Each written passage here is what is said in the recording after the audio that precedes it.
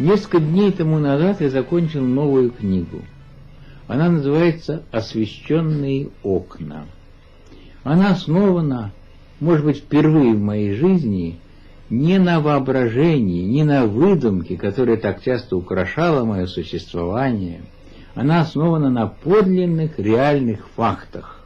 Это история моего детства в маленьком провинциальном городке, юности, история я бы сказал, созревание души. Я проверил себя, написав моим дру... немногим оставшимся в живых, моим друзьям по гимназии, по школе.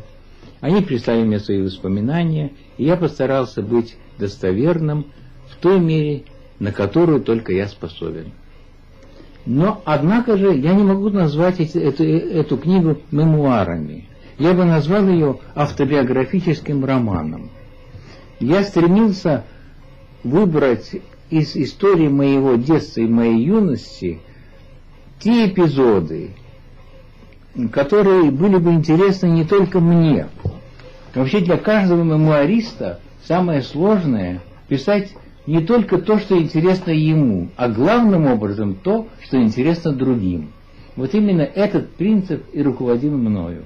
Если прежде я пользовался ключом воображения, теперь в моих руках совсем другой ключ – память.